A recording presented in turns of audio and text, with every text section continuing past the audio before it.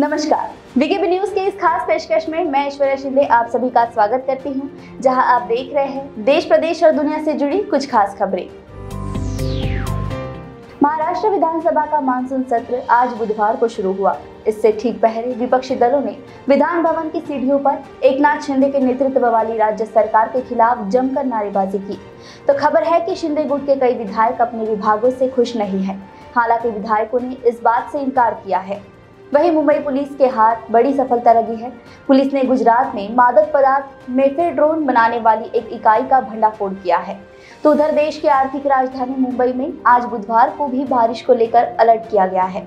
कुछ दिन के अंतराल के बाद कल मंगलवार को मूसलाधार बारिश हुई थी। इस बीच बीजेपी नेता मोहित कंबोज ने एक बार फिर से ट्वीट कर लिखा है कि बहुत जल्द एनसीपी का एक बहुत बड़ा नेता नवाब मलिक और अनिल देशमुख के पास जाने वाला है। प्रदेश के इन पाँच बड़ी खबरों को विस्तार से जानने के लिए बने रहिए हमारे साथ। महाराष्ट्र विधानसभा का मानसून सत्र आज बुधवार को शुरू हुआ। इससे ठीक पहले विपक्षी दलों ने विधान भवन की सीढ़ियों पर एकनाथ शिंदे के नेतृत्व वाली राज्य सरकार के खिलाफ जमकर नारेबाजी की। विपक्ष के नेता अजित पवार के नेतृत्व में राष्ट्रवादी कांग्रेस पार्टी और कांग्रेस ने किसानों के मुद्दों पर सरकार के खिलाफ नारेबाजी की। विधायक आदित्य ठाकरे सहित उद्धव ठाकरे के नेतृत्व वाली शिवसेना के कुछ सदस्यों ने भी नारेबाजी में हिस्सा लिया। कुछ विपक्षी सदस्यों को शिंदे फडणवीस सरकार की वैधता आरोप सवाल उठाने वाली तख्तियों के साथ देखा गया। एक विपक्षी नेता ने कहा कि इस सरकार ने उन किसानों की दुर्दशा का नजरअंदाज कर दिया है, जिन्होंने अधिक बारिश के कारण अपनी फ़सल खो दी है। सरकार की वैधता भी संदेह में है और कानूनी रूप से बहस की जा रही है। बता दें कि बुधवार को सुबह 11 बजे शुरू हुआ मानसून सत्र 25 अगस्त को समाप्त होगा। विपक्ष शिंदे के नेतृत्व वाली सरकार पर निशाना साधते हुए दावा कर रहा है कि यह असंवैधानिक है।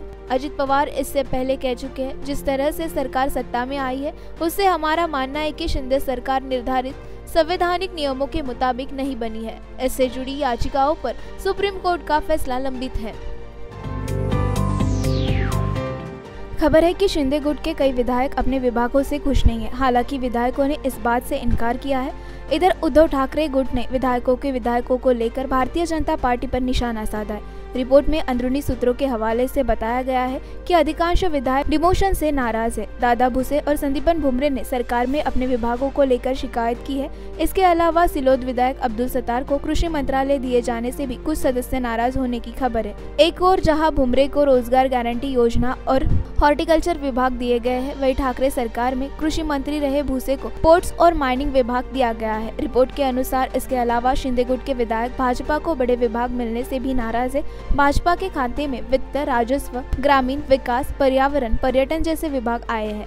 सीएम शिंदे का कहना है, विभाग ज़रूरी नहीं है, काम और ज़िम्मेदारी ज़रूरी है। व्यक्ति को आवंटित किए गए विभागों के साथ न्याय करना चाहिए। एक मंत्री केवल अपने विभाग ही नहीं, बल्कि पूरे राज्य का मुखिया होता है। पूर्व विकास और राज्य की प्रगति के लिए काम करना उसकी ज़िम्मेदारी होती है। शिवसेना के मुखपत्र सामना में भी मंत्रियों को विभागों के आवंटन पर सवाल उठाए गए हैं।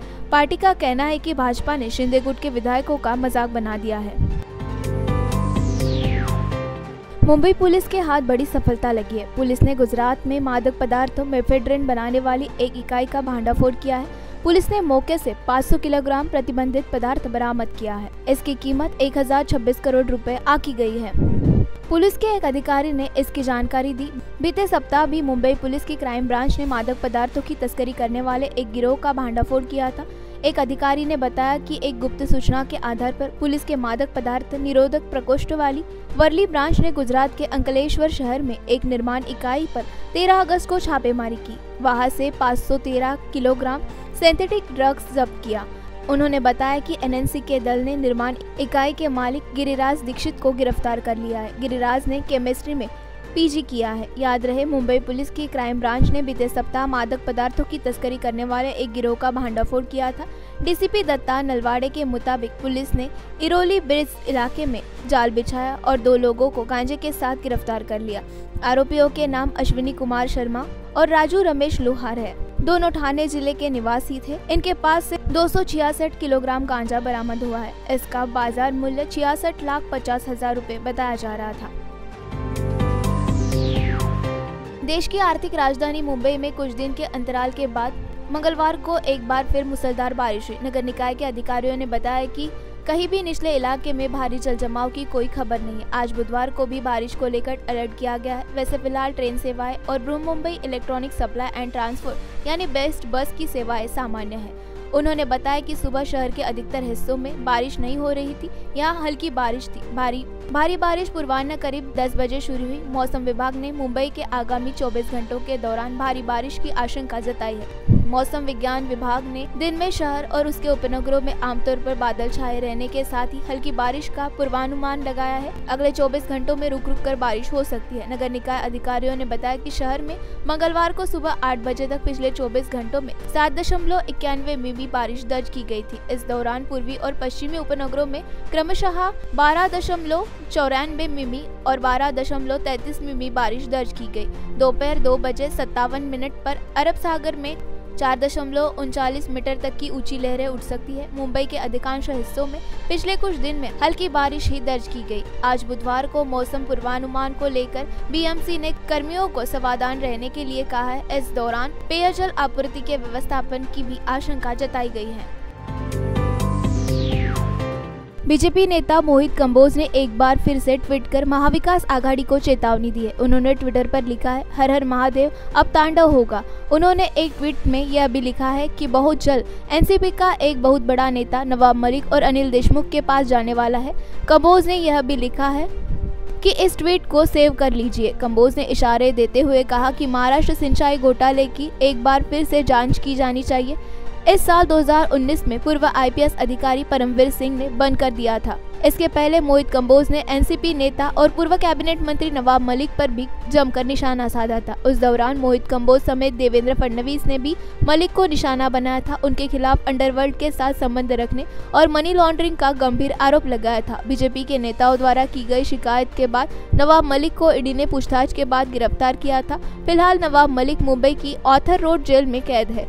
इसी तरह से पूर्व गृह मंत्री अनिल देशमुख भी मनी लॉन्ड्रिंग के मामले में गिरफ़्तार किए गए हैं। देशमुख पर पुलिस महकमे के अधिकारियों का गलत इस्तेमाल करके 100 करोड़ रुपए हफ़्ता वसूलने का आरोप है। यह आरोप पूर्व मुंबई पुलिस कमिश्नर परमबीर सिंह ने लगाया था।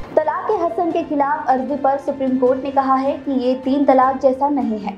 इसीलिए पहली नज़र में हम याचिकाकर्ता से सहमत नहीं हैं तो राजनीतिक दलों की ओर से मुफ़्त सुविधाएँ और चीज़ें देने की स्कीमों के ऐलान पर सुप्रीम कोर्ट ने कहा कि हम इस पर रोक नहीं लगा सकते।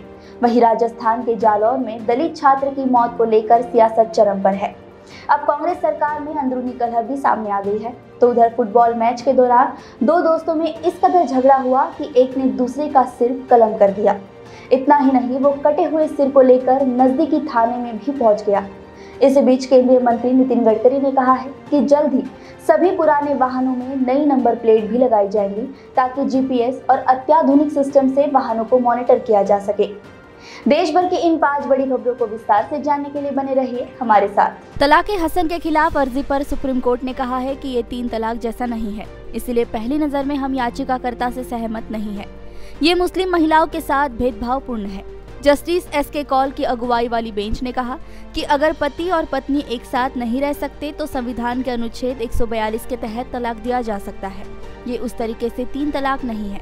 याचिकाकर्ता की वकील पिंकी आनंद ने कहा कि वो इस मामले में निर्देश लेकर आएँगी। कोर्ट ने सुनवाई 29 अगस्त के लिए टाल दी है। बता दें कि इस्लामी धार्मिक कानूनों में बिना कोर्ट जाए तलाक को मान्यता दी गई है। मुस्लिम पर्सनल लॉ में तलाक के बिद्दत, तलाक एहसन और तलाक के हसन का ज़िक्र है। सुप्रीम कोर्ट से तलाक बिद्दत यानी तीन तलाक खारिज हुआ है, जबकि तलाक एहसन चलन में नहीं है। तलाक के हसन चलन में है। तलाक हसन तीन महीने में पूरा होता है। इसके तहत माहवारी के बाद महिला से पुरुष तलाक करता है, लेकिन इस दौरान दोनों एक साथ रहते हैं और परिवार के बड़े बुज़ुर्ग दोनों में सुलह करने की कोशिश करते हैं। इस दौरान एक एक महीने के अंतराल पर पुरुष तलाक करता है और तीन महीने तक अगर सुलह न हो पाए, और तीन महीने तक अगर सुलह न हो पाए तो तलाक की प्रक्रिया पूरी होती है। राजनीतिक दलों की ओर से मुफ़्त सुविधाएँ और चीज़ें देने की स्कीमों के ऐलान पर सुप्रीम कोर्ट ने कहा कि हम इस पर रोक नहीं लगा सकते। Chief justice N V Ramana की अगुवाई वाली बेंच ने कहा कि अदालत राजनीतिक दलों को मुफ़्त में चीज़ें देने की स्कीमों का ऐलान करने से नहीं रोक सकती। ये सरकार का काम है कि वो लोगों के वेलफेयर के लिए काम करे। चीफ जस्टिस ने कहा कि किन स्कीमों को मुफ़्त खोरी की घोषणाओं में शामिल किया जा सकता है और किन्हें नहीं। ये बहुत ही जटिल मसला है। क्या हम मुफ़्त शिक्षा के वादे को भी फ्री बीच मान सकते हैं। क्या पीने का पानी और कुछ यूनिट बिजली मुफ़्त देने को भी फ्री बीज माना जा सकता है? मामला जटिल है। आप अपनी राय दे सकते हैं। बहस और चर्चा के बाद हम इस पर फैसला ले सकते हैं। यही नहीं, कोर्ट ने ये भी कहा कि अकेले वादों के आधार पर ही राजनीतिक दलों को जीत नहीं मिलती। चीफ जस्टिस ने इस दौरान मनरेगा का उदाहरण भी दिया। उन्होंने कहा कि कई बार राजनीतिक दल वादे भी करते हैं, लेकिन उसके बाद भी जीत कर नहीं आ पाते। अदालत ने अब इस मामले की सुनवाई अगले सप्ताह करने का फैसला किया है। राजस्थान के जालौर में दलित छात्र की मौत को लेकर सियासत चरम पर है। न सिर्फ़ भारतीय जनता पार्टी और बहुजन समाज पार्टी जैसे विपक्षी दलों ने राजस्थान सरकार को घेरा है, बल्कि कांग्रेस सरकार में अंदरूनी कलह भी सामने आ गई है। एक तरफ़ दलितों पर अत्याचार रोकने में नाकाम रहने का आरोप लगाकर कांग्रेस के विधायक पानाचंद मेघवाल ने इस्तीफा दे दिया तो पूर्व उप मुख्यमंत्री सचिन पायलट ने पीड़ित परिवार के घर पहुंचकर मुख्यमंत्री को नसीहतें दे डाली। उन्होंने न सिर्फ़ पुलिस पर सवाल उठाए, बल्कि यह भी गहलोत की कि उस दलील को भी खारिज कर दिया कि दूसरे राज्यों में भी आपराधिक घटनाएँ होती है। पीड़ित परिवार से मिलने के बाद उन्होंने कहा कि हमें दलितों में ये विश्वास पैदा करना होगा कि हम उनके साथ खड़े हैं। इसके अलावा कोई अन्य विकल्प नहीं है। इसी बीच भाजपा ने गहलोत को निशाना बनाना शुरू कर दिया है तो दूसरी तरफ़ पायलट को सहलाने का कोई मौका नहीं छोड़ रही है। राजनीतिक जानकारों की माने तो जिस तरह पहले कन्हैया लाल और अब दलित छात्र इंद्र की मौत को लेकर गहलोत सरकार पर सवाल उठे हैं, उसने सब्र करके बैठे पायलट को फ्रंट फूट पर ला दिया है। वही चुनाव से पहले भाजपा को भी मुद्दा मिल गया है। फुटबॉल मैच के दौरान कहा सुनी की गई घटनाएँ सामने आती रहती है, लेकिन असम से जो सनसनीखेज घटना आई है, वो शायद बेहद डरावनी है। यहाँ एक फुटबॉल मैच के दौरान दो दोस्तों में इस कदर झगड़ा हुआ कि एक ने दूसरे का सिर कलम कर दिया। इतना ही नहीं, वो कटे हुए सिर को लेकर नजदीकी थाने में भी पहुँच गया। दरअसल ये घटना असम के सोनीतपुर ज़िले की है। यहाँ स्थित रंगपाड़ा थाना क्षेत्र में ये सब हुआ है। मीडिया रिपोर्ट्स के मुताबिक घटना सोमवार को मीडिया रिपोर्ट्स के मुताबिक घटना सोमवार को दोयालूर इलाके में स्वतंत्रता दिवस के मौके पर आयोजित फुटबॉल मैच खत्म होने के बाद हुई है। इस मैच में दो दोस्तों ने पाँच सौ की शर्त लगाई हुई थी। शर्त में ये था कि जो भी हारेगा उसे पैसे देने पड़ेंगे। एक पुलिस अधिकारी ने बताया कि तुनीराम एक टीम का समर्थन कर रहा था, जबकि हेमराम दूसरी टीम का प्रशंसक था। हेमराम ने शर्त जीत ली और पैसे मांगे, लेकिन तुनीराम ने पैसे नहीं दिए। ये मामला इस कदर बढ़ गया कि तुनीराम ने गुस्से में आकर अपने बैग से एक धारदार हथियार निकाला और उसका सिर काट दिया और फिर कटा हुआ सिर लेकर रंगपाड़ा थाने पहुँच गया। तत्काल आरोपी को हिरासत में ले लिया गया। फ़िलहाल इस मामले की जाँच शुरू हो गई है। पुलिस प्रत्यक्षदर्शियों से बातचीत कर घटना का पूरा विवरण तैयार कर रही है। जल्द ही विस्तृत रिपोर्ट तैयार किया जाएगा। देश में मोटरसाइकिल, कार या अन्य वाहन चलाने वालों के लिए बड़ी खबर है। दरअसल जल्द ही सभी पुराने वाहनों में नई नंबर प्लेट भी लगाई जाएँगी ताकि जीपीएस और अत्याधुनिक सिस्टम से वाहनों को मॉनिटर किया जा सके। केंद्रीय सड़क परिवहन और राजमार्ग मंत्री नितिन गडकरी ने ये जानकारी दी है। ये सरकार का देश में टोल प्लाजा को खत्म करने की योजना की दिशा में एक कदम होगा। गडकरी ने कहा कि नए वाहनों के लिए tamper proof high security registration plates का इस्तेमाल 2019 से शुरू किया गया था, जहाँ सरकारी एजेंसियाँ वाहनों के बारे में सारी जानकारी प्राप्त कर सकती है। अब हमने पुराने वाहनों को भी यही प्लेट उपलब्ध कराने का फैसला किया है। मौजूदा समय में आपको एक दूसरे से 60 किलोमीटर दूर स्थित टोल प्लाजा पर भी पूरा शुल्क देना पड़ता है। अब अगर आप हाईवे का इस्तेमाल सिर्फ़ 30 किलोमीटर के लिए करते हैं तो नई तकनीकी की मदद से आपसे आधी कीमत ही ली जाएगी। गडकरी ने कहा कि केंद्र सरकार देश को जल्द ही टोल प्लाजा से मुक्त कराने के लिए काम कर रही है। उन्होंने कहा कि वाहनों का कोई ठहराव नहीं होगा, इसलिए प्रदूषण कम होगा और इससे समय की बचत भी होगी और लोगों का फ़ायदा होगा, पैसे बैंक खातों से सीधे काटे जा सकते हैं। लंदन में शादी का सपना संजय एक दूल्हे को, उसकी होने वाली दुल्हन ने एयरपोर्ट पर ही गच्चा दे दिया और लाखों रुपए लेकर फुर हो गई। तो जन्म दर रिकॉर्ड कम होने से चिंतित चीन की सरकार लोगों को अधिक से अधिक बच्चे पैदा करने के लिए प्रोत्साहित कर रही है। वो अलग से स्कीम भी देख रही है। वहीं एक रिपोर्ट में कहा गया है कि दो हज़ार तिरपन तक अमेरिका भीषण गर्मी की चपेट में होगा, जहाँ तापमान बावन डिग्री तक पहुँच जाएगा। तो उधर बाबा बेंगा की भविष्यवाणी माने तो इस वर्ष भारत में टिड्डियों का प्रकोप बढ़ सकता है। इसी बीच पाकिस्तान में एक बार फिर पेट्रोल की कीमतें बढ़ी है। इस फैसले से आहत मरियम नवाज़ अपनी ही सरकार के खिलाफ उतर गई है। दुनिया भर के इन पाँच बड़ी और खास खबरों को विस्तार से जानने के लिए बने रहिए हमारे साथ। शादी का सपना संजोए एक दूल्हे को, उसके होने वाली दुल्हन ने एयरपोर्ट पर ही गच्चा दे दिया। इतना ही नहीं, उसके सामान के साथ लाखों रुपए लेकर फुर हो गई। बेचारा दूल्हा शादी तो छोड़ो, अपना पैसा और सामान के लिए मंगेतर को ढूंढता फिर रहा है। शख्स को इस चोट का एहसास तब हुआ जब अपनी शादी के हसीन ख्वाब को पूरा करने के लिए वो मंगेतर के साथ लंदन से इटली जाने के लिए एयरपोर्ट पहुँचा। ये घटना दोनों की सगाई के ठीक एक दिन बाद हुई। दोनों शादी के लिए रोम की उड़ान भर रहे थे। दरअसल, कपल की आपस में ही हाल ही में मुलाकात हुई थी। दोनों ही लोग अपने चालीसवें साल में चल रहे थे। मुलाकात हुई तो प्यार परवान पर चढ़ने लगा, लेकिन शख्स को क्या पता था कि उस हसीन चेहरे के पीछे एक लुटेरी थी, जो उसका लाखों रुपए और सामान लेकर भाग जाएगी।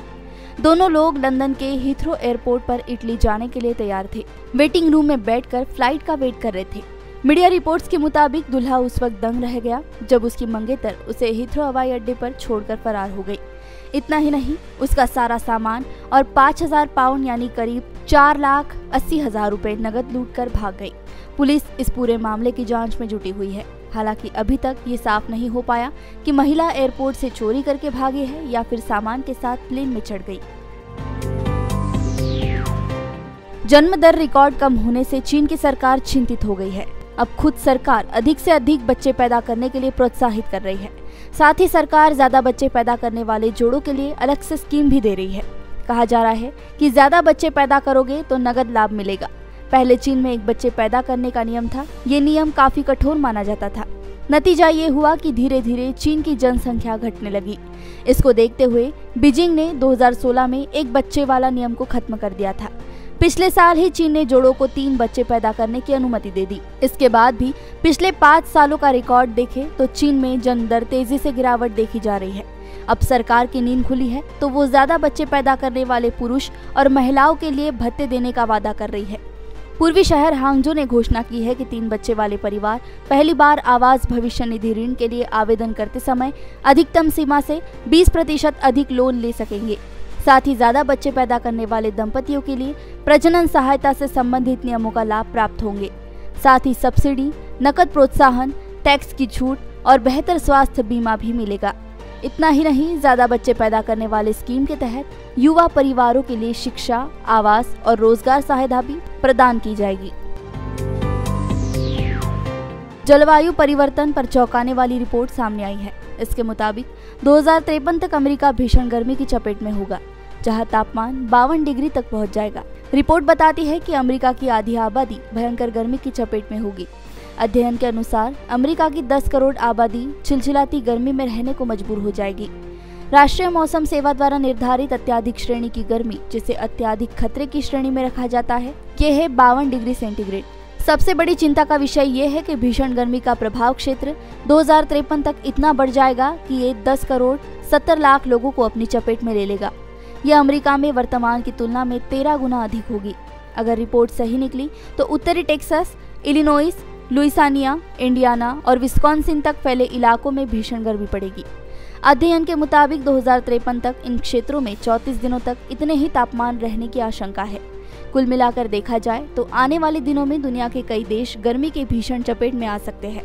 बता दें कि जब साक्षेप आर्द्रता हवा में मौजूद तापमान के साथ मिलती है, तब एक इंसान का शरीर कैसा महसूस करता है, इसके लिए तापमान सूचकांक निकाला जाता है।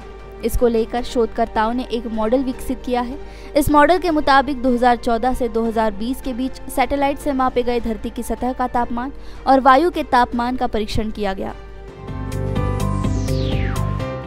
यदि आप भविष्यवाणियों, पूर्वानुमान, ज्योतिषियों और मनोविज्ञान पर विश्वास करते हैं तो बाबा बेंगा ऐसा नाम है, जिनके बारे में आपने ज़रूर सुना होगा। बाबा बेंगा के दो पूर्वानुमान हैं, जिसमें से एक भारत के बारे में है, जिसने लोगों की चिंता बढ़ा दी है।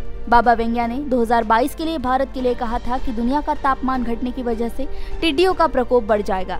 भोजन की तलाश में टिड्डियों का झुंड भारत पर अटैक करेगा, जिससे भारत में बड़ी मात्रा में फ़सलें नष्ट होंगी। यहाँ तक कि अकाल जैसी परिस्थिति भी आएगी।